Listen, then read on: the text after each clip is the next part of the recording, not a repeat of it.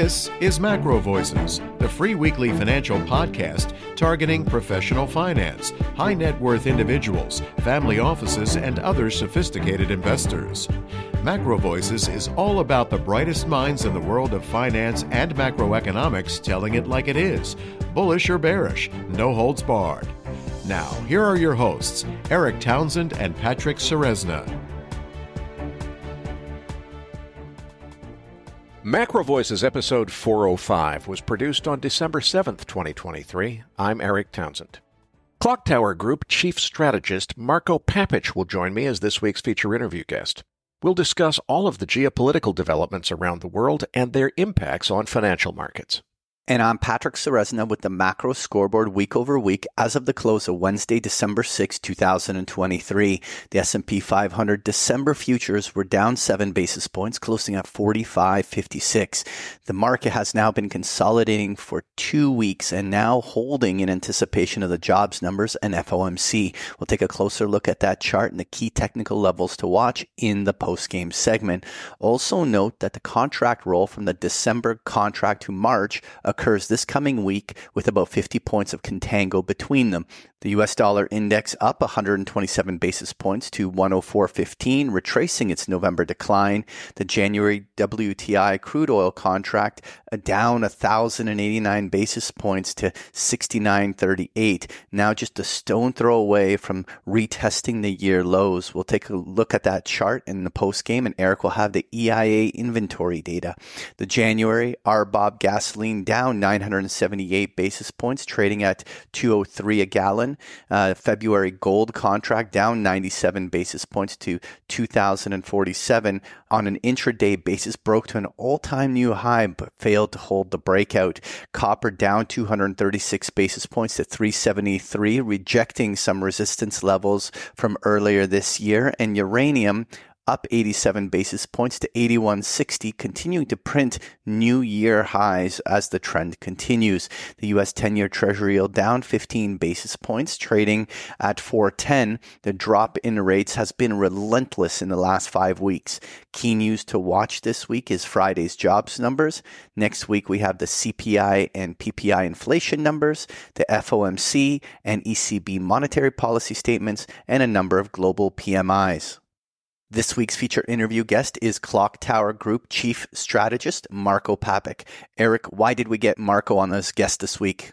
Well, Patrick, given all the turmoil around the world, we wanted to get a geopolitics expert on the show to talk about all the ongoing conflicts and what they mean for financial markets.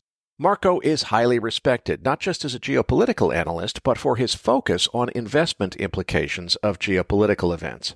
After we finished recording this interview, I spoke with Marko off the air and expressed some concern that some of his comments during this interview may come across to some of our listeners as cold hearted or insensitive to the hardship that so many people are experiencing due to these ongoing geopolitical conflicts. Marko asked me to add an explanation before the interview begins that he focuses on the investment implications of geopolitics and makes an intentional policy of not concerning himself with humanitarian factors because he feels an obligation to his clients to analyze geopolitics objectively to understand their investment implications and doesn't allow his judgment to be clouded by consideration of other aspects of the underlying conflicts.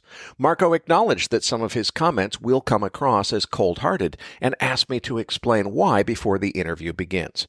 I'd also like to add that I don't personally agree with some of Marko's views expressed in this interview, but as always, my policy is to allow our guests to share their views candidly without argument or debate from me. Marko's views and opinions are his own and do not reflect those of myself or the Macro Voices podcast. Erik's interview with Marko Papic is coming up as Macro Voices continues right here at macrovoices.com.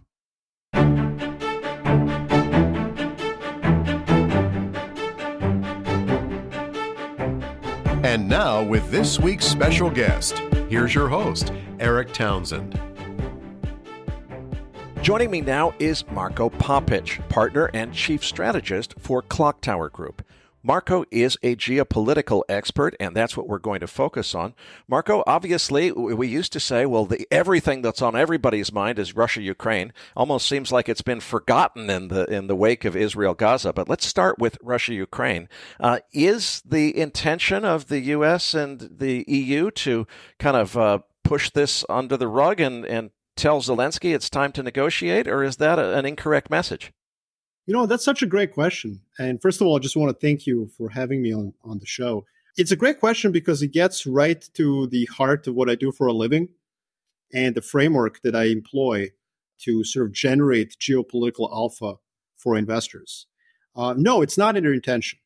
It is not. It's not their preference. I think the preference of the European Union, various member states, and the United States of America is to continue to push against Russian attempts to expand their sphere of influence. But preferences of policymakers are not diagnostic. They're not relevant for investors. They're not, they're not relevant for us as analysts. What matters are material constraints that constrain policymakers from getting their way, from getting their preferences. And this is why I think that the entire industry of geopolitical research, of geopolitical analysis, that tries to uh, convince its clients, many of them in the asset management industry, that getting closer to policymakers is the way to generate alpha. In other words, I will tell you what I heard at a cocktail party in Washington, D.C., and then you'll make some money off of it. That entire business model, I think, doesn't really make sense because pol- politicians and policymakers, they don't get what they want. They don't get to pursue their preferences. And the reality on the ground is that there are severe material constraints from continuing this conflict on both sides, by the way. We can talk about what the constraints are on Russia's side. Being pretty incompetent at war might be an obvious one. But from the Western perspective, I mean, what you're seeing is a real turn in terms of political uh, appetite by the median voter in both Europe and the US to continue the endless conflict in Ukraine. And uh, I think that that's a real big risk to the policymakers in Europe and the US in perpetually continuing to support Ukraine in its attempts to recover the lost territories to Russia. And so, yeah, I, I would say that we're at the end of the line. And I think that over the next 12 to 18 months, the pressure on you know Kiev to negotiate some sort of a ceasefire is going to increase. Not a peace deal. I just want to mention that before you follow up because I can probably guess that you're going to ask me that. I don't think that anyone will ever be able to convince Ukrainians that uh, you know to sue for peace and to give up these territories. But there are ways to avoid having to do that. You know, we can agree to disagree for a very long time in terms of territorial arrangements, and that has been the case in many conflicts around the world that did end. Well, let's come back to what you said about material constraints because the political sentiment until recently was look, until the end, no matter what it takes, keep on sending weapons, support, equipment, and so forth to Ukraine. Now, one side of this is that that political sentiment or, or the public support for that is waning. But it seems to me there's another side of that, which is although you can print more dollars out of thin air, you can't print tanks and missiles and so forth. They have to be manufactured. And obviously, the defense industry is going to benefit from having to replace the ordnance and so forth that have already been used up. But what about the ability of continuing to support this war? Do we have enough stockpile of, of weapons and bombs and missiles and everything to keep doing this? Or are we at a point where we're already risking the the U.S. and European national security by using up so many of our own weapons that we don't have enough to, to defend ourselves if something else happened. Wow, a lot of great points that you brought up. It, it, that is indeed a material constraint. Now, first of all, I don't think you're risking U.S. security. You know, unless Canada and Mexico decide to engage in a land war, it, you know, the U.S. is probably defending its security by engaging a strategic rival like Russia in a land war far, far away. So, as far as I'm concerned, it would probably make sense to send 100% of stockpiles over to Ukraine, and the US will be fine. Uh, the issue is that, you know, you do need to engage the defense industry and you need to incentivize them to produce more because we're already running out of, of not all weapon systems, but some certainly we are beginning to run out. And so the issue is why hasn't that been done? And the answer is that, and, and this is not a politically correct answer, and I'm going to anger a lot of people by saying it, but the truth of the matter is that Ukraine is just not that existential to the West. You know, it just isn't. And I don't say that because of what politicians are saying in the press, but because of their behavior. Clearly, Ukraine is not existential to the West because clearly the defense industries of the West have not been ramped up the way that was done, for example, in World War One and World War Two. And let me let me let me maybe make it more specific. Independence of Ukraine may be existential to the West, but that was already gained. In other words, that was already accomplished in effectively March of 2022. Within a month of this conflict, the Russians effectively acknowledged that they lost their initial foray into northern Ukraine and they withdrew. On March 23rd, they basically, you know, a month after the war started, they they said, "Oh, we accomplished our first phase of the war." No, you didn't. you you're just saying you lost and you're trying to put a face on it. So basically, within a month of this war, what was existential to the West was accomplished, which is like we will have an independent Ukraine that will not be controlled by Russia. There will not be some puppet government.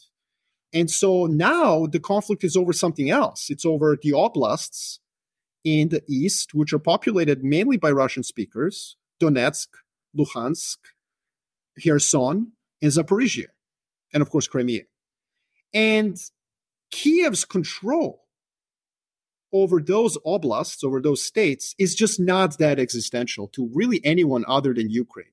It's optional, it's a luxury. And that's why you're not seeing the ramping up of defense industry to prolong this war to let Ukraine win, you know, quote unquote. Because as far as the West is concerned, and by West I mean like Italy, Germany, France, the United States, Canada, the West has already won. Ukraine is independent. Moscow doesn't control Kiev. And so now it's much more of a luxury to continue the conflict for territorial integrity of Ukraine. So, what does this mean for U.S. defense industries? Obviously, there's a lot that's already priced in. It's a little bit too late to go buy defense stocks because you heard about a war in Ukraine. Uh, what, what, what should we expect next, and uh, what are the investable, actionable strategies that we can pull away from this Russia-Ukraine situation? Well, at, at, the end of last year, you know, I told our clients that they should uh, definitely invest for the long term in European defense industry. I think that's the one that's going to ramp up because I think you will see continued expansion of European defense budgets. Uh, I think Ukraine was a watershed moment from that perspective. And some of the biggest gains in terms of market performance were in Europe and their defense companies. And so I think that is is that fully priced in? Not necessarily. I think there's still a lot of uh, doubt whether European countries will be able to boost their defense spending as percent of GDP. I actually think it will happen. And I think the Europeans will be quite protectionist about how they do that. So, this idea that they will continue to do America's bidding, as they did during the Cold War, uh, by buying American defense systems, I mean, that's just not going to happen. And so, I think that if you're looking for an opportunity that some sort of long term geopolitical beta, I think that that would be the play here. Not American companies, but European ones. And where do you see this conflict in Ukraine going from uh, a resolution standpoint? we have heard initially a bunch of reports that, okay, it's time for the U.S. and EU to kind of push Zelensky to the negotiating table, make a deal, come, come up with some kind of truce agreement, uh, put this thing behind us. But then, just in the last week or so, I've seen a couple of statements out of U.S. policymakers saying, "No, that's not our position. We we are staying with us with this. It's going to continue." But as I go back to your material constraint thing, I don't see any political will to send U.S. soldiers, put put U.S. boots on the ground, and, and put American lives at risk there. It I, I, hate to say this so bluntly, but it seems to me that Ukraine has already almost run out of fighting age uh, men in in their own population. Uh, unless someone else is willing to send boots on the ground, uh, I don't understand how this war could continue any further than it already has. Am I missing something there? I think uh, in the U.S., look, the big story here, you know, and I, I know we're going to cover this uh, today, is the US election. So you've got basically 11 months left to supply Ukraine with enough, you know, material because there's a uh, pretty high probability that there is a 180 degree turn in US policy after November 2024. In my view, Donald Trump is the front runner in this election, and his probability of victory is probably underestimated at, at the current juncture for a number of different reasons, including the strength of the US economy at this moment. And so, uh, you know, like if if you're a Western planner, you cannot ignore that. You cannot ignore American election. And so you you have these 12 months, and I think that's what you're seeing. The the Biden administration is basically saying, like, look, we need to provision Ukraine with uh, funding in particular, and the unsaid part of that statement is because there may not be any more funding after November 2024. And so, and, and, by the way, it's not just the U.S. election. You know, you had a Polish election this year, and Poland is at the front line of West's sort of of the French challenge to Russia. Polish election ahead of the election, the incumbent party abrogated a trade deal with Ukraine to satisfy its farmers.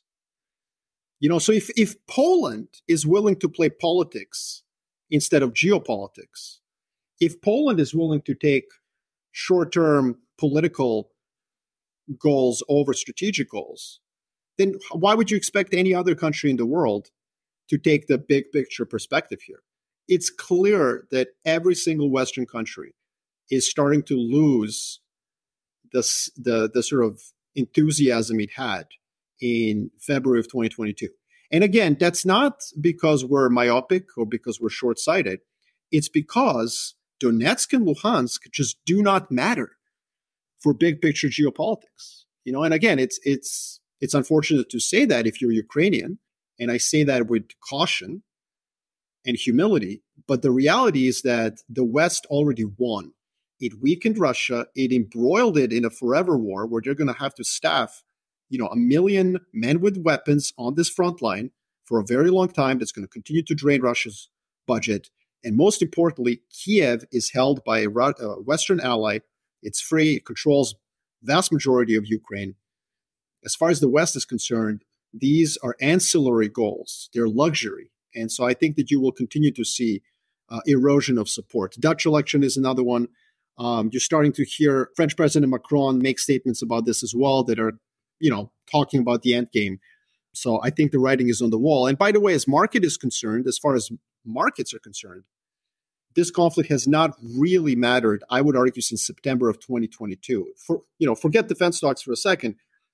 Oil prices, commodity prices, wheat prices, uh, European currency, European energy costs, uh, European industrials relative to American industrials, all of those trades are gone because the market decided in September of 2022 that this is a frozen conflict. And quite frankly, this time the market got it right. Let's move on to the Israel Gaza conflict, which obviously is the hot one now. Where is this headed? Uh, IDF has said, as they have re escalated after the, the ceasefire uh, ended, or a ceasefire broke down, is perhaps more accurate, that this will probably take at least a year. Uh, that's probably more than some people were bargaining on. Do you agree with that? Uh, where is it headed, and who's likely to get involved? Well, I, I, I don't think it will take a year because I don't think Israel has a year. You know, uh, and I say that because from my reading of Israel's history, what gives Israel its unique military technological advantage over its rivals and neighbors in the region is its um, status as a Western country. Uh, you know, based on a form of Western small L liberalism I don't mean in the American context like progressive liberalism. I mean, you know, nation state building process that took um, part in the 19th and 20th century. And you have a state that's effectively recognized by everybody in the West as carrying on these Western European liberal ideals. And this is really important for Israel because it depends on this technological and military advantage because of its connectivity with the rest of the world. And so when you see a turn in public opinion, which is, you know, documented and empirical, And it's not just college campuses, it's significant. When you see a turn in public opinion against Israel, I think that is a material constraint. I think that no Israeli government can ignore that turn in public opinion. And quite frankly, I think this is exactly what Hamas wanted. I think Hamas has been wildly successful. And not because of the casualties on October 7th, but because of the subsequent Israeli retaliation. Uh, this is precisely what Hamas wanted. Israel is literally following their enemy's playbook. Because the idea here is to showcase to the world that Israel is somehow doing something wrong other than defending itself. And so I think that Israel, uh, that IDF doesn't have a year. I think they have less than a year, and they're going to have to wrap up this conflict fairly quickly or risk turning global public opinion further against Israel, which is an existential risk. I just want to make sure that I understood what you just said. It sounded like you're saying that Hamas wanted to see Israel essentially disgrace itself in, in the eyes of the global community by overreacting or, or by initiating a campaign that would be perceived as genocidal by the rest of the world, and that they were set up for that to happen by Hamas essentially putting itself at risk, like a, a, suicide bomber that's that's sacrificing itself in order to cause Israel to be disgraced on the public stage in the eyes of the rest of the world. Is that what you meant? Yeah, and just to be clear, I'm not saying that this is an objective reality. I think that Israel has a great case to argue that it is defending itself and that the the context of Gaza, which is a highly urban, high density population area makes it very difficult for them to kind of do what America did in Afghanistan, you know, or Iraq. So the objective reality is something else. But certainly, I think this was Hamas's point. This is what they wanted. What they got exactly what they wanted. And by the way, this is exactly the playbook that Al Qaeda followed against the US. I mean, you can literally read Osama bin Laden's speeches where he literally said, We attack them so they would come here, bring their war to us so that they would put American troops on Muslim lands. That's what we want. We want them here. And America did the same thing. America retaliated after 9 11. The difference between the United States and Israel, however, and this is very important to understand, is that the US was and is in many ways a global hegemon. It gets to make strategic mistakes. It gets to make them because it has preponderance of power. And because those mistakes are less relevant to the United States, which has its own industrial capacity, its own technological superiority, Israel doesn't.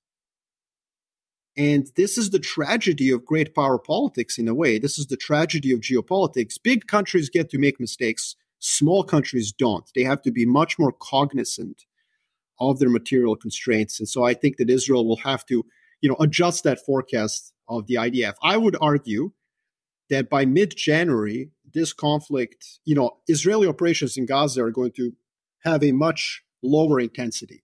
I don't doubt that they're going to continue to occupy parts of Gaza for a year or maybe longer. So maybe that that statement by the IDF will, uh, you know, like technically prove to be correct.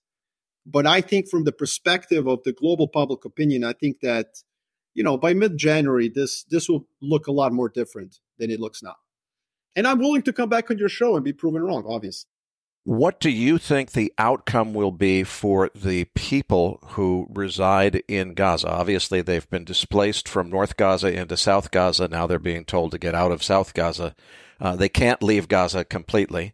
There's been some talk of trying to uh, to move them uh, out to Egypt, although it sounds like the Egyptians are not exactly rolling out the uh, the welcome mat for that. What happens to the people, the civilian people of Gaza, uh, as this conflict uh, eventually reaches some kind of conclusion? You know, I have no idea.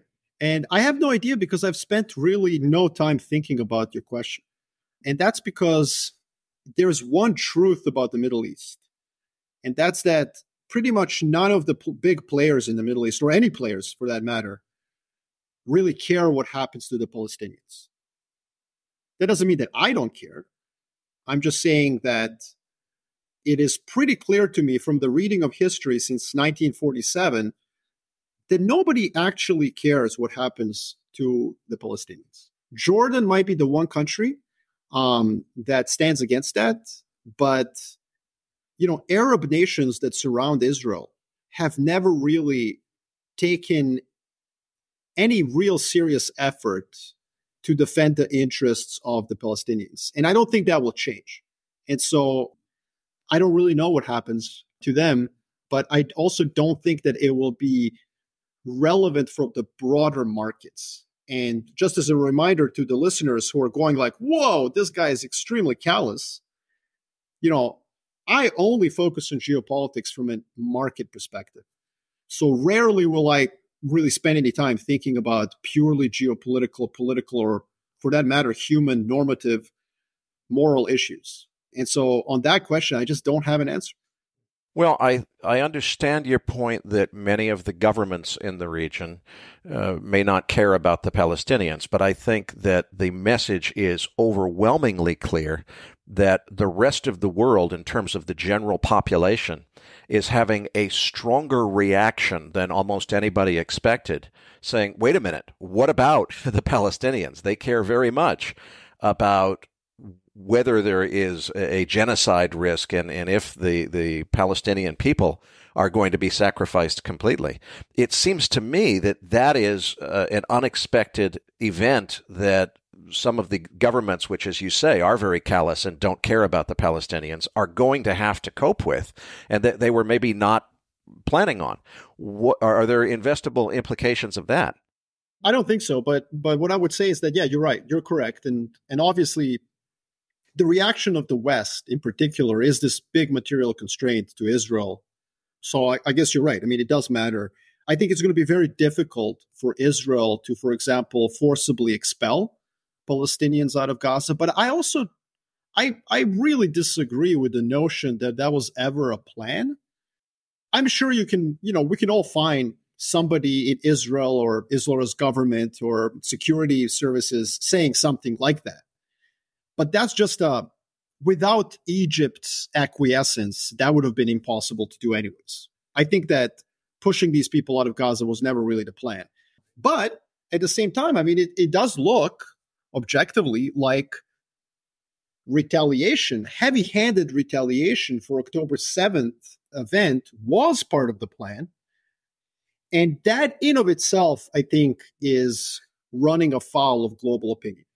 Now, in terms of the region, I'll give you a scenario that will, will sort of prove me wrong, you know, and, and would create a sustainable risk in the region from this event. And that would be if uh, population in one of the neighboring countries really started to become agitated by the events. And, and obviously, the only country I can think of as being really relevant from that perspective is Egypt. If you had some sort of a popular unrest in Egypt against the current government that demanded a much more forceful response to Israel's actions. Now, that's something we'll be able to see, we'll be able to uh, sort of monitor over a long period of time. It's not happening right now, but that is um, a potential way in which popular reaction in the region to the events could become investment relevant. Iran, Iran has been very careful in how it responds to the events in Gaza. I think for uh, probably two reasons. One, it's been warned by the US that they will retaliate against Iranian involvement. And there's historical precedent for Iran, such as the 1988 Operation Praying Mantis. It learned what American retaliation looks like. It does not want to get Americans involved. And two, Iran Saudi detente in 2022 actually gave Iran some real strategic wins in Iraq and in Yemen. And so Iran does not want to uh, retaliate to sort of West's or Israel's behavior by impacting the global source of oil which is Saudi Arabia. And so you've seen Iran tell its various proxies, including Houthis in Yemen, not to target Saudi facilities as retaliation for West support of Israel. And I think that's an important point that nobody really mentions that Saudis and Iranians solved a lot of their problems back in 2022. Uh, the only thing Americans basically kind of know about that deal is that it was quote unquote negotiated by China. But the much bigger significance is that that, that detente is actually holding in this stressful environment. Let's talk a little more about the risk of this Israel Gaza conflict escalating to a regional war, which was the great concern so many people had initially. It seems like, other than Iran, the other Arab states really don't want to see that happen.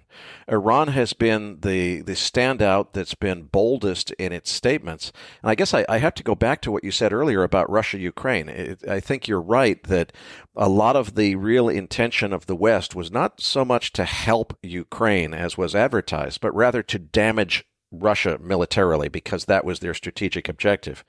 Uh, it seems to me that uh, the U.S. also has a strategic objective, potentially, I, I, don't know, but it seems like they may have an objective to damage Iran militarily. And I noticed something like just this past weekend the missile attacks on some merchant vessels eh, operating in the Red Sea. Uh, you know, what really happened, as far as I can tell, is there were some missile attacks on some civilian merchant vessels, and a U.S. destroyer responded to distress calls from those vessels in order to see what was happening. Yet the headline came out as Houthis attack U.S. warship with drones, which I'm not sure that was quite accurate. It makes me wonder if the agenda that in the Russia Ukraine conflict was to strategically damage Russia's military, if the U.S. has a strategic uh, objective to damage Iran's military capability. Maybe later. Not ahead of the election. You know, I think that uh, the White House is extremely focused on not causing uh, oil prices to go higher so I would be very surprised if there was an intention with 12 months to go to do that. So I, I would say no. I don't think that that's what the intention is. But I will say this regional war thesis was from October 7th onwards, like the number one forecast by a lot of geopolitical forecasters. A lot of them assigned pretty high probability to that happening. And I do think that there is an option where it happens. I would think that Israel is more likely to make this a regional war than Iran by, for example, pursuing um, you know some strategy to create a standoff distance between themselves and Hezbollah and Iranian proxies in Syria or Lebanon. So I can see an Israeli military incursion into those two as an example of how this widens. But Iran really is constrained. And I want to really emphasize that, as I said earlier, they don't want US to be involved.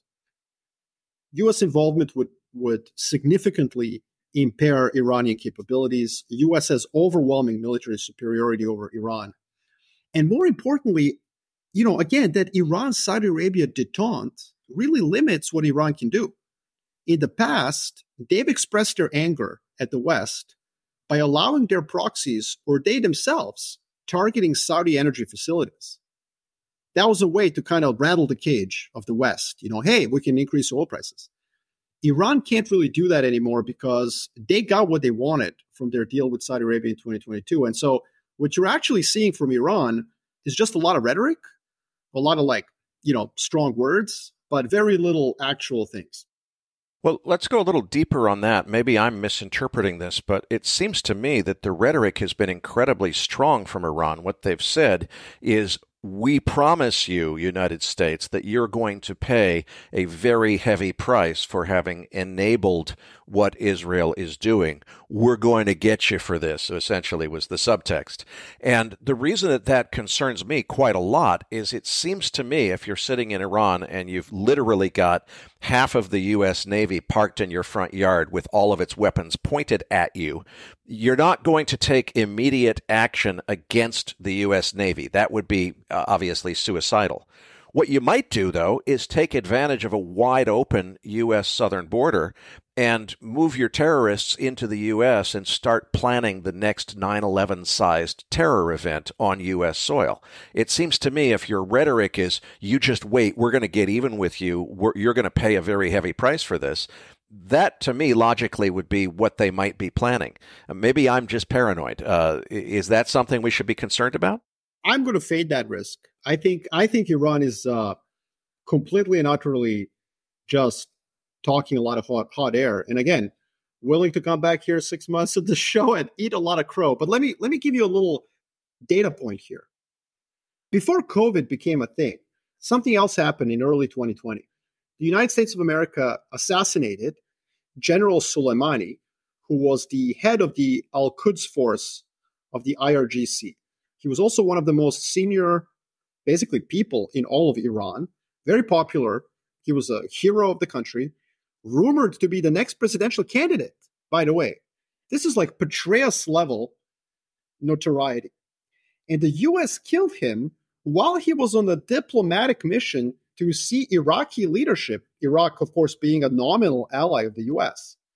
He was just killed in Iraq by the United States. So this is a really serious event. Early 2020, I believe it was January 2020, this happened. What did Iran do as retaliation? So again, this isn't something happening in Gaza to Palestinian people who are not Iranians. You know, this is this is the United States of America killing one of the most prominent members of, of Iranian leadership. Iran basically did nothing. They um, they did rocket attacks against two military bases of the United States but they were so pre-planned and basically telegraphed to the US that there were just some injuries, light injuries, nobody died. I suspect, I have no evidence, that they called the US and told them precisely when they would hit and which part of the base would be hit.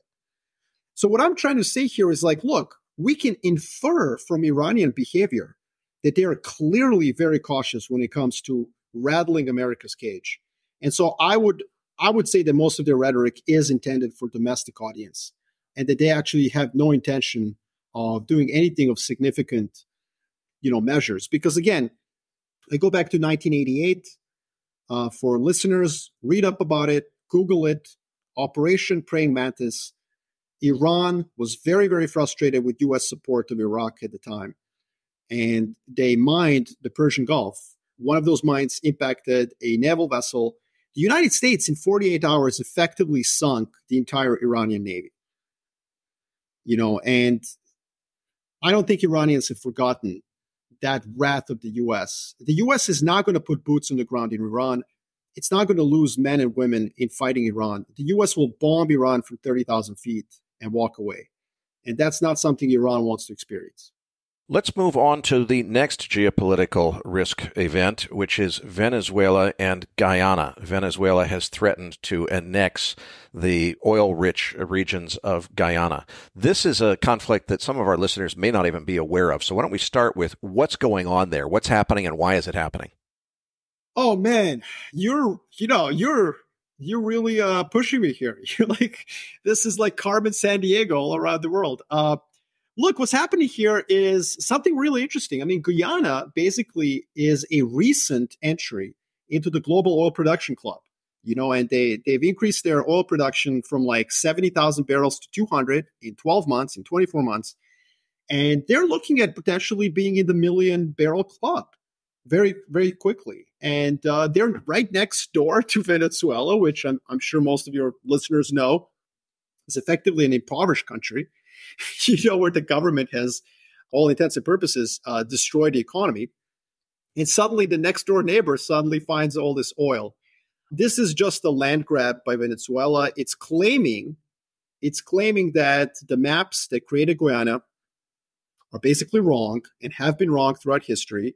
It's claiming two thirds of Guyanan territory, by the way. It's two thirds. It's not like a small region.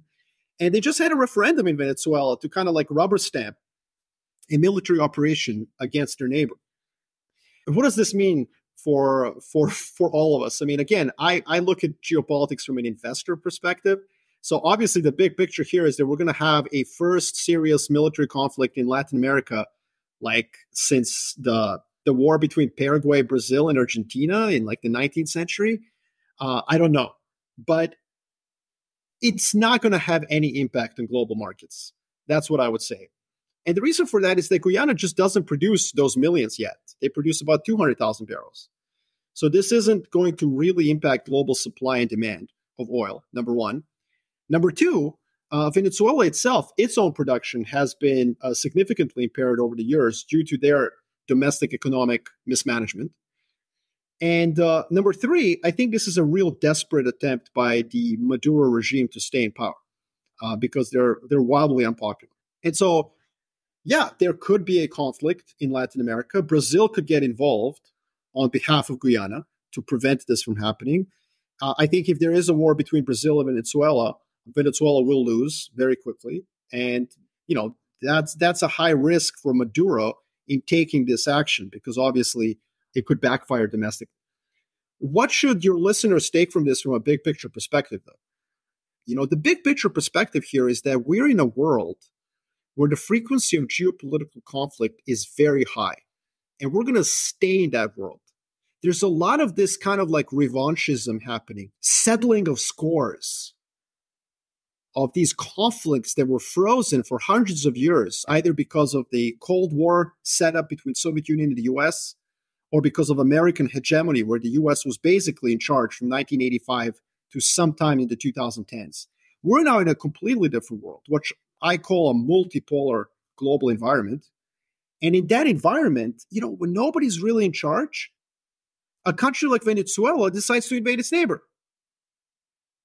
And I think that we will start seeing more and more of these events global. The next big one is one that hasn't happened yet, but a lot of people are worried about, which is the risk of China invading Taiwan. How big of a risk is that, and what would the market implications be? So that's the one that I, I definitely would not fade. I mean, your listeners at this point are probably saying, like, wow, this guy's a one trick pony. Every time something happens in the world, he just fades the risks. Well, you know, if China invades Taiwan, we've got a problem. Markets would definitely tank, global markets. S&P 500 would like be impacted by that. We do have a very important event, the January 13th Taiwanese presidential election, very interesting election, similar to the US. There's multiple candidates. The pro sovereignty party, the DPP, Democratic Progressive Party, their candidate, William Lai, is likely going to win the election. I hesitate to call it a pro independence party because it's not fair. DPP will not proclaim independence, but they are pro sovereignty from China. So they are uh, very closely aligned with the US. Their current president, President Tsai, has, uh, you know, obviously been very close to the Biden and the Trump administrations if they continue to be in power, that will definitely irk Beijing. Interestingly, though, William Lai is polling terribly. He's polling in the 30s. So why is he going to win? Well, because the the more sort of like conciliatory vote is split between two different parties, three candidates, in fact. Uh, the two main ones are KMT, the Kuomintang, and TPP, which is the Taiwan's People's Party, a new party.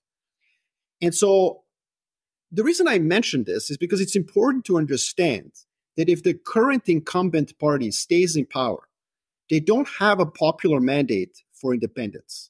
They don't have a popular mandate for even continuing the level of close relations with the US they had over the last administration because they will only have a mandate support of about 35% of the public. So that's the first thing I want to mention. The second thing I want to mention is that President Xi visiting the US and meeting Biden in San Francisco was a big concession by Beijing. It seems to me that China is so focused on internal politics and internal economic situation, which is deteriorating, that they don't want to rattle the cage with the US. They, they want a temporary detente, a pause, if they will, if you will. And so I think that the tensions, at least in the immediate term, let's say over the next 12 to 36 months, are actually going to be lowered over Taiwan. I think that strategic rivalry between China and US still remains the most important geopolitical question over the next decade.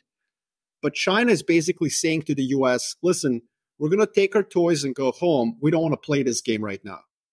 Let's go back to the material impacts and where the risk factors are, because something I just do not understand about this China Taiwan situation. If you start the first part of this story, if you were reading it in a history book, would go something like this. There was a pandemic in 2020, and in the course of navigating that pandemic, the whole world realized something really scary and interesting, which is that we are completely and totally dependent on China for almost all of our prescription drug manufacturing, and we're completely and totally dependent not just on Taiwan, but on one specific company in Taiwan for the lion's share of the semiconductor manufacturing, which is the absolutely essential ingredient to almost all electronics, computers, uh, anything high tech. It's almost impossible to build it without semiconductors that come from Taiwan.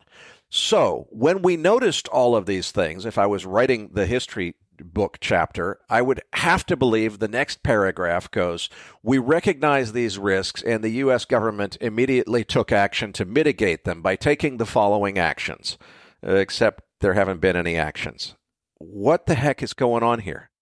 It's really tough, Erik. You know, I mean, uh, it's very, very difficult. It's not like pressing a button and we suddenly have alternatives to a lot of these uh, supply chain issues you're pointing out. I mean, let's take the the chip building point. You can go to the US Department of Labor website and just take a look at what's happened to our supply of highly skilled manufacturing labor in the semiconductor space. It's that specific. There is an actual data point, and it's collapsed since the 90s.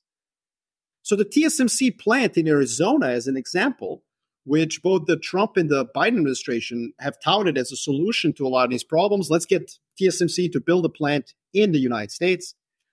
I mean, it's it's a disaster. Books are going to be written five years from now about what an absolute boondoggle that that plant is going to be. You know, so and there's a lot of reasons for that. It's not just that we don't have supply of labor in the United States to actually build these things. It's also that there's no wider supply chain they're going to be wildly expensive. We apparently put it in Arizona. I don't know why we put it in Arizona. I think we put it in Arizona because it's a purple state and somebody wants to cut a ribbon of this factory ahead of an election. Because I, I can tell you this that highly sophisticated chip that's produced in Arizona is going to have to be put on a bed of a truck, sent to Long Beach, California, and then put on a ship so it can go back to Taiwan, where it can be integrated into a piece of electronics. So I think the US government is trying to modify these supply chains. It just takes a long time. Now, the good news, though, is that here in the US, everyone's hysterical about the US addiction to China from a supply chain perspective. But nobody's talking about how absolutely addicted China is to global demand. So while they have the supply chain, actual physical components of the supply chain, we have the demand. And see, China thought that they would have the demand. They thought that their middle class story was the story of the 2020s or the 2030s. Well, guess what? China, from an economic perspective, is where the United States was in 2009, 10, 11. They are facing a private sector deleveraging moment. They're in a balance sheet recession, as Richard Koo would call it. They are facing their secular stagnation. And so the C the consumption component of their GDP equation is going to be permanently impaired as far as the current policymakers in China are concerned for the next seven years. How long did it take us to resolve our secular stagnation from 2008 until when? 2017 to 2020, depending how you see it. So that's that's where China is actually considerably constrained. And I think it gives the US a lot more time because I don't think China is going to start a war well, it's absolutely addicted to the global demand story, which means that American households and European households are what pays for GDP growth in China. And as long as that's the case, I think that they will hesitate to, you know, play politics with supply chains. Which by the way, by the way, Erik, we have empirical evidence that I'm right. What is it? China has hesitated to retaliate to any of the American tariffs sanctions, export restrictions. You know, they, they said, like, oh, we'll put some export controls on various materials and rare earths, but those are not automatic. They will basically choose which companies in China get to export some of this stuff. But to this day, China has not retaliated in any way to the American export controls, sanctions, and tariffs. Just think about that. There's a reason they haven't retaliated. And it's because they are afraid that it will impact their economy far more than it impacts the US or Europe. Let's move on to what you already said is the big one. It's an election year in the United States. And I don't think this election really bears much resemblance to any other that I can remember because what you're hearing now from the people who oppose Donald Trump is not, we don't like this guy. It's not, we think you shouldn't vote for our guy instead. It's, the end of civilization will happen if Donald Trump is reelected. We've actually seen some rhetoric in, you know, senators that, that are tweeting saying that the comments that Democrats have made this week are a stealth call for assassination. Now, whether or not that's true or not, I don't know. But the notion that we have congressmen in the United States who are publicly making the statement that the other side has called for an assassination of their candidate. I don't remember anything like that ever happening in my lifetime in U.S. politics before. Seems to me like this is more emotionally charged than anything we've ever dealt with. Look, I think that U.S. election will be the biggest macro event of 2024 you know, it, it, took us 54 minutes, or sorry, 47 minutes to get to this. You know, uh, we saved the best for the last. But what I would say is that there is no bigger political or geopolitical issue for investors. Why? Because you're right, Erik. A large group of Americans, like I would say half of Americans, do believe that a Trump presidency 2.0 will be the end of the republic. And uh, why does that matter? Oh, and by the way, in this election will be the most unprecedented, I think, in US history since the 19th century, because I believe there will be more than one viable third party run. I think Joe Manchin is going to run. I think Liz Cheney has just today, December 5th, said that she's contemplating running. And you have Kennedy, who's miraculously polling double digits, around 10%. So, what you could have is a situation where Donald Trump or Joe Biden wins this election with about 35% of the vote. By the way, can you imagine what that would look like from 2024 to 2028 if we have an administration that only carried 30, 35% of the popular vote? Can you imagine how little confidence the government, the, the public will have in that White House? The second issue is that you could have a situation where third party candidates win electoral college votes. And then neither candidate gets to 270 votes. And then you have the House of Representatives decide the presidents. Again, extraordinary things will happen this year. So, why does this matter? I think it matters because I don't think the Fed will ignore this reality and this re- risk. And again, this is not a popular view think a lot of professional investors who have cut their teeth over the last 40 years reading Fed statements, taking them seriously, thinking about the FOMC and the Fed as a catalyst for markets, they're going to douse gasoline over themselves and light themselves on fire right now. Because I'm about to say something that's heretical in American financial industry, you know, in our epistemic community. It's not nice to say that the Fed is political. It's improper. Well, you know what? Sorry, but it's about to get political. Because I do believe that the Fed is part of that establishment elite consensus. And the view in that group, and by the way, this isn't just Democrats and liberals, this is also many, many centrist Republicans who believe that the Trump 2.0 presidency will be a real game changer. And so I think it's just ridiculous to think that the FOMC will do anything but cut rates in 2024 no matter what happens to the economy. Now, I happen to be slightly bearish about the US economy. For example, you know, this is a low conviction view. But my view is that we're going to have a shallow recession in first half of 2024 actually, not in the latter. But see, my view is then that the Fed will cut rates by far more than 125 basis points it's currently priced in the OIS curve. Far more. It will it will cut rates 3, 4% in order to mitigate the political effects of that recession. Now, if your view as a as a listener is like, well, I don't think a recession is a risk in 2024. I think the recession risk is just out of the market at all, then you should not bet against the current pricing in the market of 125 basis points worth of cuts. I can actually see the Fed using whatever data it gets as an excuse to become lenient in 2024. So that's why I think this election matters. And let's talk about the investment implications of that. Uh, certainly, gold would be one benefactor of uh, of the Fed cutting more than expected, uh, cutting more than consensus expectations. What are the other investable strategies there? Well, I think whether there's a recession or not matters for you on a tactical basis. So January, February, I probably want to be bearish on U.S. equities in anticipation of a of a recession, right? But if you have my view on a lenient Fed, then the end point is the same. In other words, we may round trip to all time highs, but we will get to all time highs by the end of next year. That that would be the implication. In other words, if you close your eyes, we will be somewhere much higher than 5,000 on the S&P 500 by the end of next year. Why? Because the Fed is going to respond with lenience. I also think that the dollar will be weak if we are correct. Obviously, that's the flip side of your gold call, which I agree with. And if that's the case, if you have a lenient Fed, if you have weak dollar, then I think emerging markets and commodities should do actually pretty well. And this is interesting because a lot of folks out there have soured on, on emerging markets.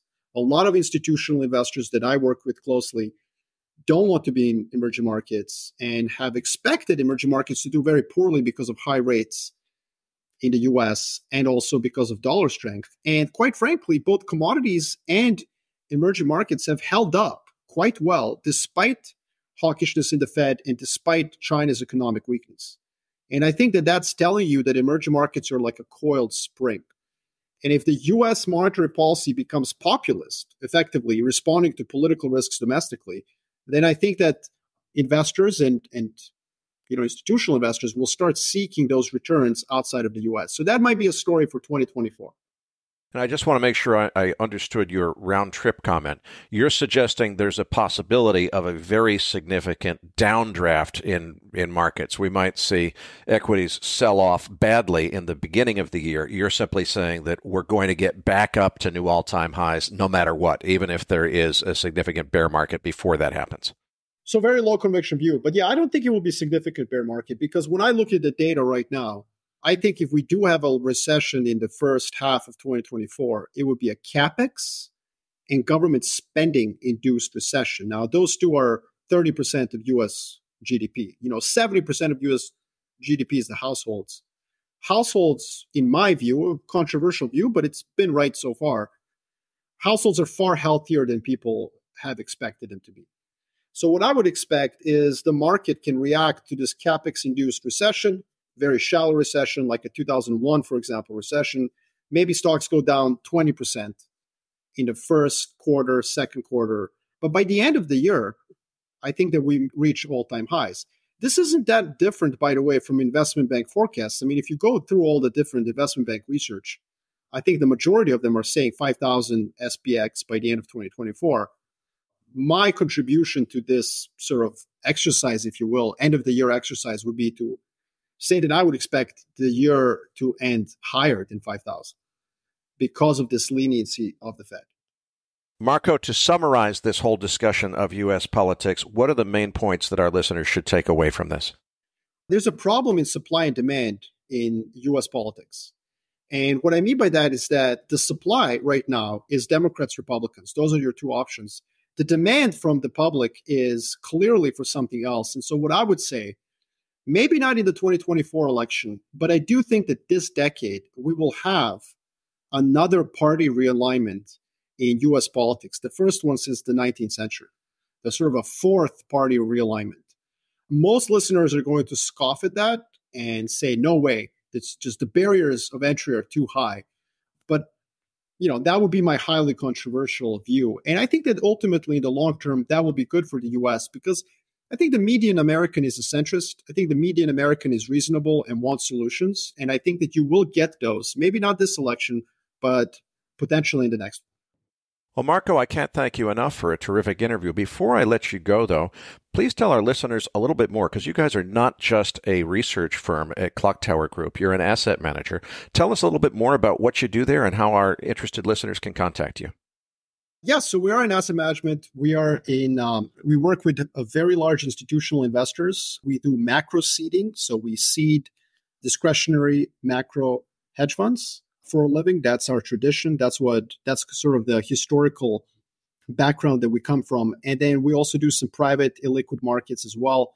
And for anyone who wants to find out more about what we do, just clocktowergroup.com is probably the best way to go about it. I'm also on Twitter, so they can, you know, search for me on Twitter. And uh, I occasionally do post some little snippets of wisdom, but, or, you know, maybe not wisdom.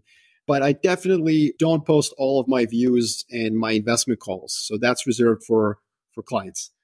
Patrick Ceresna, Nick Galarnyk, and I will be back as Macro Voices continues right here at macrovoices.com.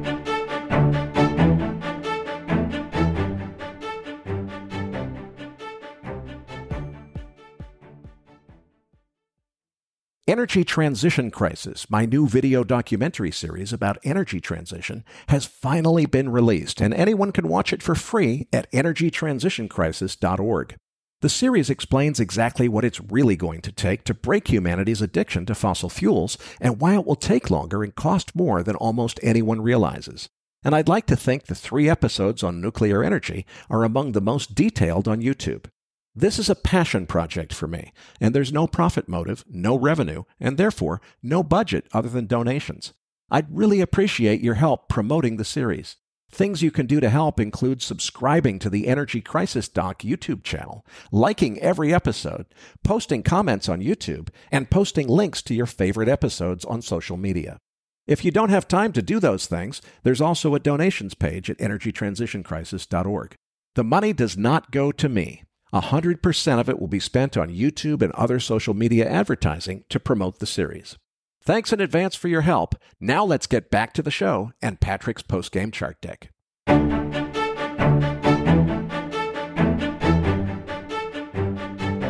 Now, back to your hosts, Erik Townsend and Patrick Ceresna. Erik, it was great to have Marko on the show. Now, joining us again in the post game segment is Nick Galarnyk. Now, let's get to that chart deck. Listeners, you're going to find the download link for the post game chart deck in your Research Roundup email. If you don't have a Research Roundup email, that means you have not yet registered at macrovoices.com.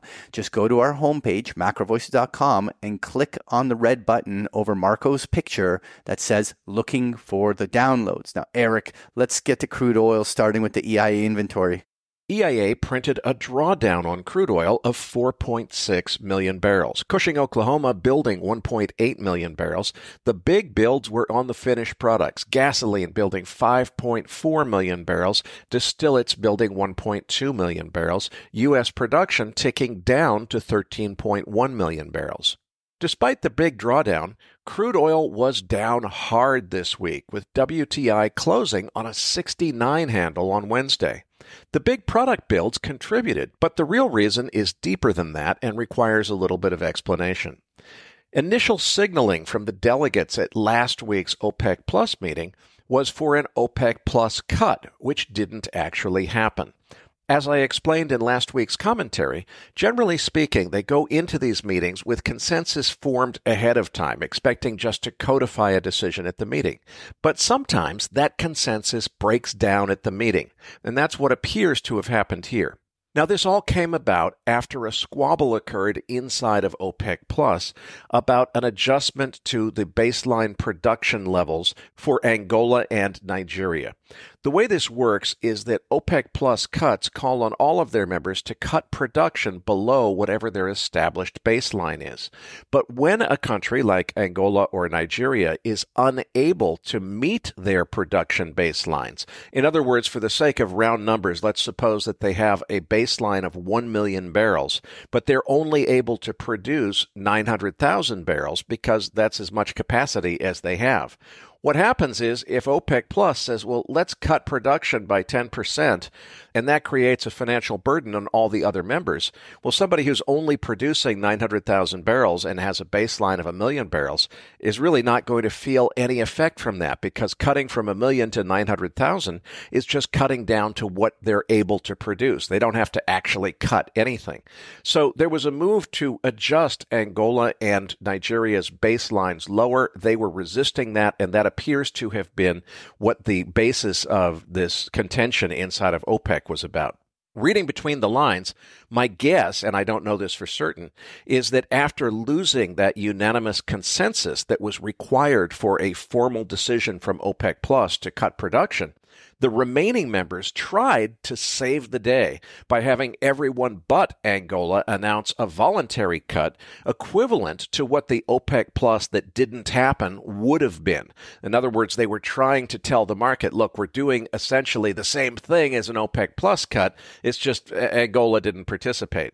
The market didn't buy it. The way the market is interpreting this is OPEC Plus is losing solidarity and therefore losing control over the market. Skepticism now abounds that OPEC Plus will be unable to establish consensus for future production cuts, which again require a unanimous vote of all of the delegates at the meeting. The assumption that OPEC would defend $80 Brent was what was holding the market up in the first place. Now the perception is OPEC Plus may not be able to defend $80 Brent. And all things considered, the only thing that I'm absolutely certain of is I'm pretty darn sure that nobody at OPEC Plus is terribly happy with Angola at the moment. But I won't be surprised if OPEC Plus gets its act together and makes a new announcement shoring up solidarity, cutting production, and, you know, Putin's visit to both the UAE and then Saudi Arabia is definitely significant here. If we see Russia and the Saudis and the Emiratis all come together and build consensus in OPEC plus, those are the big producers. Those are the ones that count. And certainly solidarity among those producers ought to be enough to return confidence to the market. Meanwhile, I think the market is probably set to continue selling off until something happens to signal that that solidarity is back. After testing $69 on Wednesday afternoon, we're back to just barely above 70 as I'm recording very early on Thursday morning. Let's see what happens here. But if there is no signal that OPEC Plus has shored up solidarity, I think there's plenty of room to go back and test the lows from uh, early spring of this year when we got all the way down to the low 60s. I don't expect that to last. I think that OPEC Plus will get its act together, establish the solidarity that they need, and reassure the market. It's a question of how long it takes them to do that and what happens between now and then. What an ugly chart, Erik. Like price action was so weak. It's simple. I just have a 50 day moving average on here, and uh, that price action couldn't get above 80. We talked about how important uh, there was to be the bulls to be able to show some sort of accumulation, and uh, instead it rejected right along the resistance level, never showed any follow through.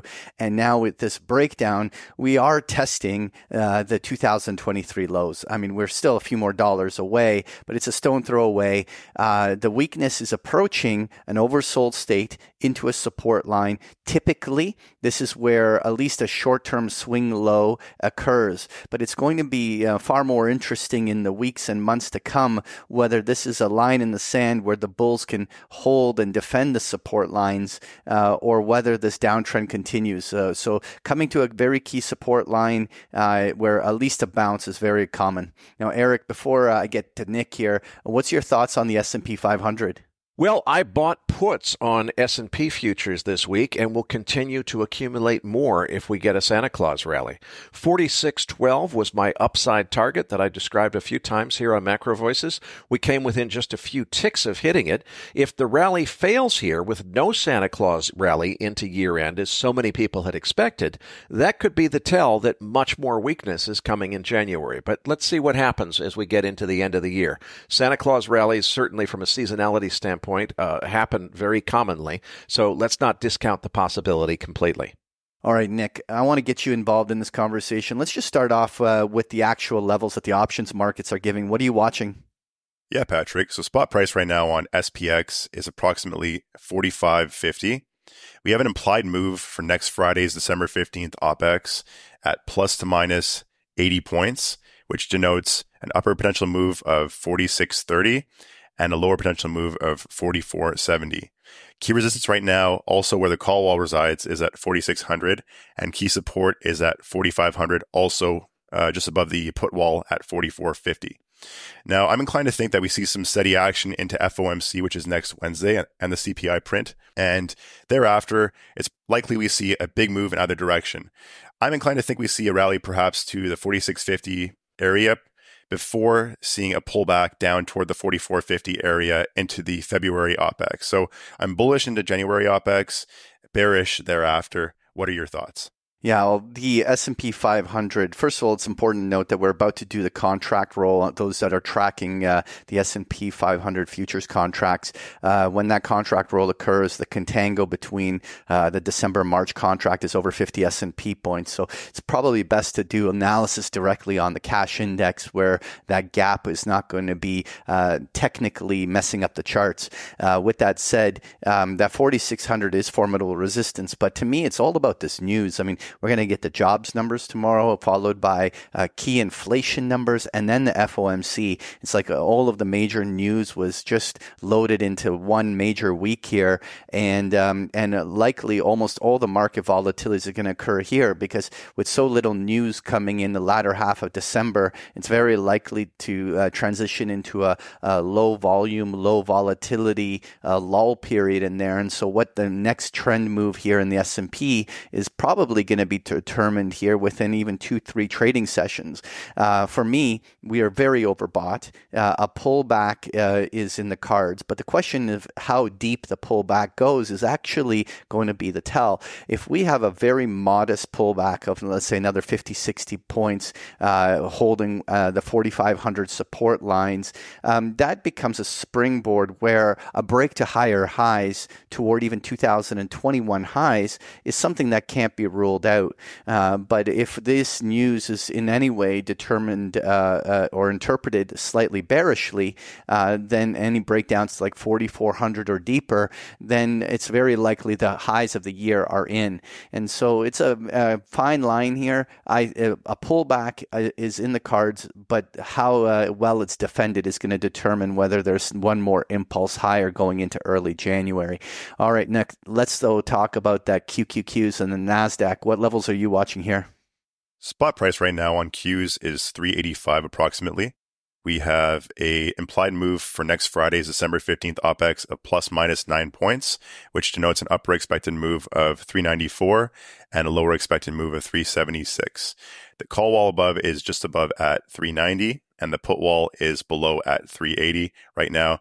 Key resistance is at 390 and key support is at 380.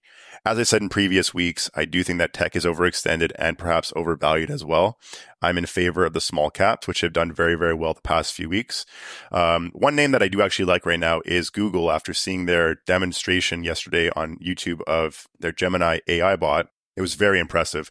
I thought it was much, much more advanced than ChatGPT. And therefore, I'm bullish in the short term on Google. But the rest of the names, I'm not so bullish on. Uh, I think that small caps will continue to outperform, especially if we resume a rally to the upside to 46.50, perhaps. Um, I think 190 or so on IWM is in the cards. What are your thoughts? Well, you know what? The uh, uh Mag 7 have been the leadership, and they certainly ha- paused here over the little bit, but uh, I think it's premature to already be putting the nails in the coffin on like the momentum of them running out, uh, while the small caps have certainly had a very strong reflexive snapback. Um, I, I don't want to count out the Mag 7. These kind of trends tend to last longer and squeeze out shorts uh, more often than not, and uh, ultimately it does resolve itself in that way, which is when something overshoots that much, it'll correct. Uh, but I, I, think that at this stage, especially if the market is well defended here, uh, the Mag 7s may end up still um, at least holding up this year. Uh, though, let's talk volatility here for a second, Nick, because on page six, uh, we have the volatility index. And in spite of us having all of this huge economic news ahead of us um, uh, going into next week, we're basically at year lows on volatility. Uh, so we're back to slightly above the 13 handle, but it's still very, very low. And there's uh, the market is simply not anticipating any big uh, swings here. What's what's your take on the volatility? Seeing the VIX at a 13 handle right now indicates that we should see daily top to bottom moves of approximately 0.8% roughly. And with that in mind, what we've seen over the past few weeks is consolidation in a very very narrow range on the S&P. So just for reference, a few a few weeks ago I mentioned that the expected move for December 15th OPEX was 110, then it was 100, now it's 90, simply because we've sat in this very narrow range between essentially, you know, 40 uh, 4530 and 4597 or so. So pretty narrow range for about 3 weeks now. And what happens there is that there's no cue for any one, uh, any large market participant to purchase out of the money calls or puts, which may drive some gamma to the upside or downside, perhaps. And so we're seeing this kind of wait and see approach for the FOMC, which is next Wednesday. Um, what I'm thinking is that we perhaps see consolidation in this range into next Wednesday, see a pop in the VIX uh, after FOMC if Powell remains hawkish. And then next OPEX for January is where I would look for an expansion in volatility to occur. Just for reference right now, it is extremely cheap to buy insurance for next year. So, for example, I was looking at a, a play, just again, uh, as an example, selling February OPEX 4650, 4700 bear call spreads for a credit of about $22 on 28 risk and using that premium to purchase next June's 4000, 3500 bear put spreads for a net debit of about 28 points. So overall, the net debit's about $6. If you leg into it, you may be able to get about a, you know, roughly zero debit cost, 500 point wide put spread, which would act as insurance to your portfolio for the next roughly six or seven months. But anyways, moving on to the US dollar on page seven. What are your thoughts here, guys? The Dixie entered a new downward price channel back on November 1st, but broke out of that channel to the upside this week. Modest resistance starts at 104 and then significant resistance at 105 on the March contract chart. Only a close over 106 spot 75 would signal a really big move higher as a foot. So I think it's a question of how far we're going to get. Is this just a correction? Uh, let's see how it plays out. Well, we got a bounce in the dollar from a very oversold state, but what is uh, noteworthy to me is that it really came predominantly from the euro. Uh, we still have a US dollar yen that just broke down again today. Uh, a lot of the other cross currencies are not that far off from their uh, consolidations lows. And so you have a scenario where the euro made its move and caused the dollar to react. But really, to me, it's going to be about whether or not the dollar starts moving against all all of the cross currencies together. That's where the major US dollar trends occur. And that simply is not uh, the case right now. So as we approach this 104, 105 level, if that pattern continues, I'm going to be looking for the US dollar still to struggle here. It's just a little bit of a bounce, but uh, I think that the dollar uh, trending higher is going to really need a very clear macro backdrop all evolving at the same time. And at least now it doesn't seem to be the case. Now, obviously, we have some major major economic news coming out. So by the time we do the next episode, that that news may have started the trend. I think one of the simplest things to do is simply watch the 105 level because the dollar turning bullish would mean some sort of sustained price action breaking out that area. Now on page eight, we have the gold futures chart. What are your thoughts here, guys? Wow, talk about a whipsaw in the futures market on the Sunday open into thin liquidity. We hit our 2140 measured move target and then traded over 2150 on the February contract in that thin liquidity trading on Sunday evening and the melt up, only to see a blow off top and a full retracement by Monday morning. The technical analysis picture is very fuzzy now because steep contango makes the continuation chart and the contract chart so completely different. On the contract chart, we've already retested the Halloween highs that were previous resistance and we've now tested them as support.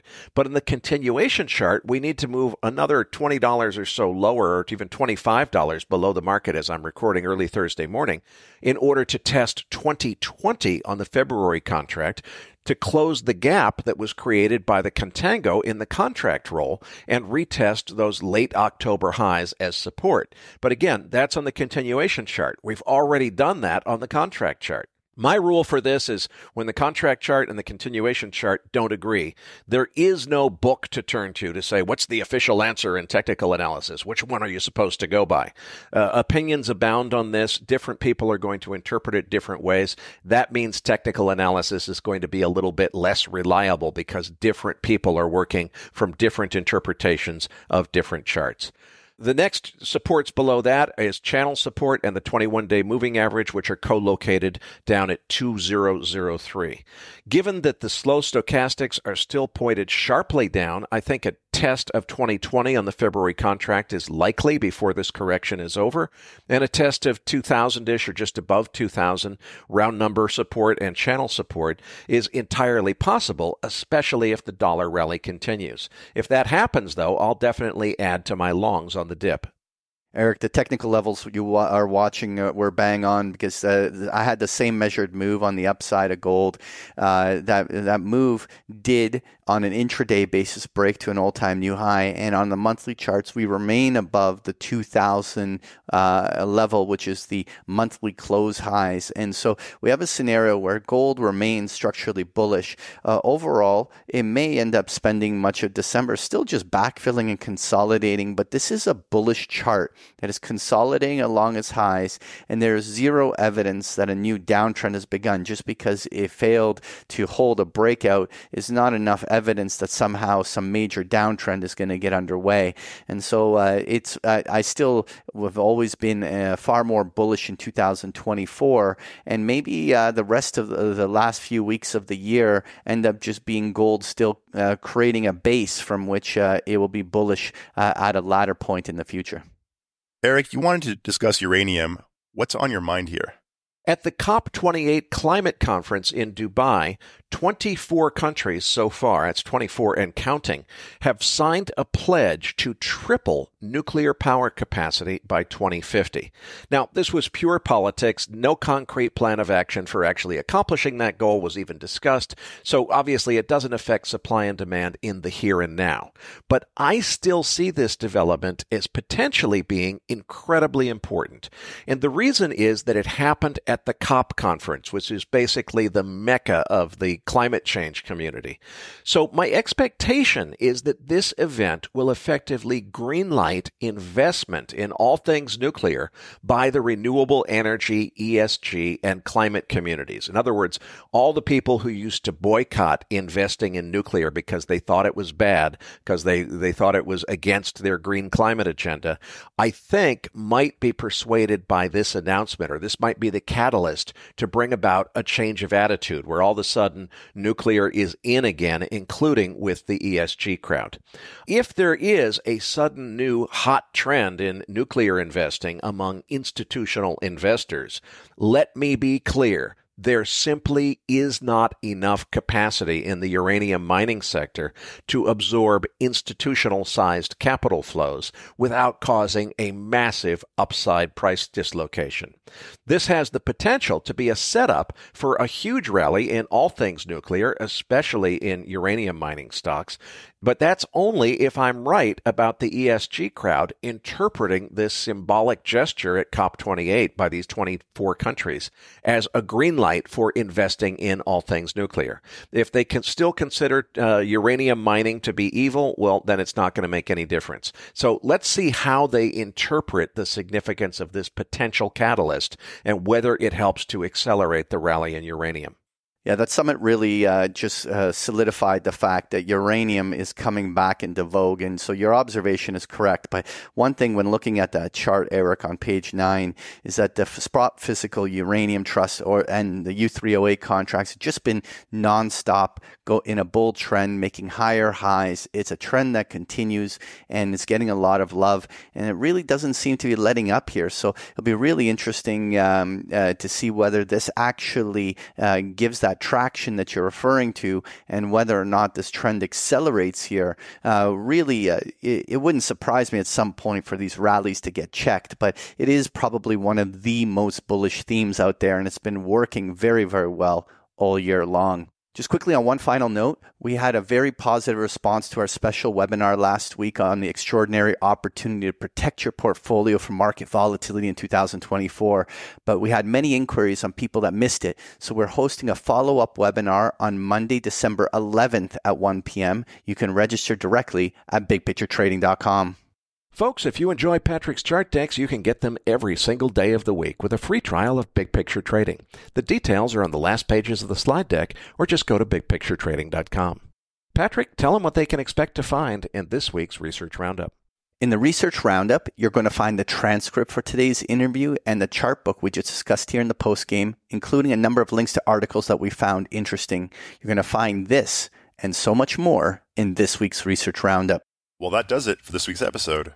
We appreciate all the feedback and support we get from our listeners and are always looking for suggestions on how we can make this program even better. For those of our listeners that write or blog about the markets and would like to share that content with our listeners, send us an email at researchroundup at macrovoices.com and we will consider it for our weekly distributions. If you have not already, follow our main Twitter account at macrovoices for all the most recent updates and releases. You can also follow Erik on Twitter at Erik S. Townsend. That is Erik spelled with a K. And follow Patrick at Patrick Ceresna. On behalf of Erik Townsend, Patrick Ceresna, and myself, thanks for listening and see you all next week.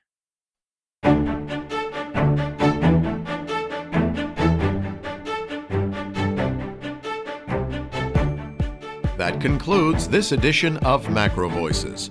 Be sure to tune in each week to hear feature interviews with the brightest minds in finance and macroeconomics. Macro Voices is made possible by sponsorship from BigPictureTrading.com, the Internet's premier source of online education for traders. Please visit BigPictureTrading.com for more information. Please register your free account at MacroVoices.com. Once registered, you'll receive our free weekly Research Roundup email containing links to supporting documents from our featured guests and the very best free financial content our volunteer research team could find on the internet each week. You'll also gain access to our free listener discussion forums and research library. And the more registered users we have, the more we'll be able to recruit high profile feature interview guests for future programs. So please register your free account today at macrovoices.com if you haven't already. You can subscribe to Macro Voices on iTunes to have Macro Voices automatically delivered to your mobile device each week free of charge. You can email questions for the program to mailbag at macrovoices.com, and we'll answer your questions on the air from time to time in our mailbag segment. Macro Voices is presented for informational and entertainment purposes only. The information presented on Macro Voices should not be construed as investment advice. Always consult a licensed investment professional before making investment decisions. The views and opinions expressed on Macro Voices are those of the participants and do not necessarily reflect those of the show's hosts or sponsors. Macro Voices, its producers, sponsors, and hosts Erik Townsend and Patrick Ceresna shall not be liable for losses resulting from investment decisions based on information or viewpoints presented on Macro Voices. Macro Voices is made possible by sponsorship from BigPictureTrading.com and by funding from Fourth Turning Capital Management, LLC. For more information, visit macrovoices.com.